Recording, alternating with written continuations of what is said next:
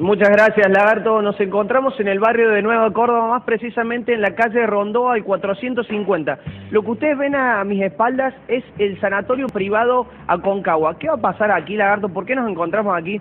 Si usted no, no recuerda bien, o la gente que no lo recuerde bien, eh, hace aproximadamente unos días se conoció el caso de Mónica Sberco. Esta mujer que se encontraba en Italia de vacaciones paseando y sufrió una ACV. En aquel momento la internaron en una clínica, le hicieron las operaciones pertinentes, pero estuvo dos meses la mujer y no conseguían, por tema monetario, tema dinero, no conseguían trasladarla hacia la Argentina, hacia, más precisamente hacia Córdoba, donde tiene toda su familia. Junto a su hija, Noelia Pasos, junto con el doctor Nazi, hicieron una presentación para poder traerla tampoco tuvieron suerte después de esa presentación y tuvieron que recurrir a la Nación.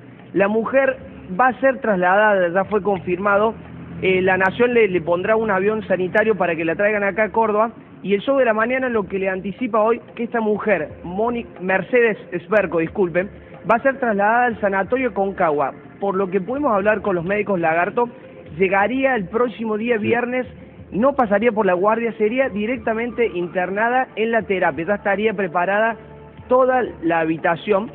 Lo que nos decían los médicos, su estado de salud hasta el momento se encuentra estable. Eh, el único inconveniente que no lo podríamos llamar inconveniente, sino que no estaría confirmado el día, pero sí, anticipo el show de la mañana, la señora que viene de, proviene de Italia, Mercedes Esberco, va a ser internada aquí en la clínica Aconcagua. Bueno, perfecto, muchísimas gracias. Y está allí preparado, como lo anticipamos desde nuestro móvil. Ya hay una habitación preparada y adecuada para recibir a esta señora que viene de una manera muy delicada, un estado de salud muy delicado, viene desde Italia. El doctor Pretel va a ser el encargado allí de este, atender y de recibir y de organizar todo este operativo. Gracias, Fernando. Volvemos en un ratito.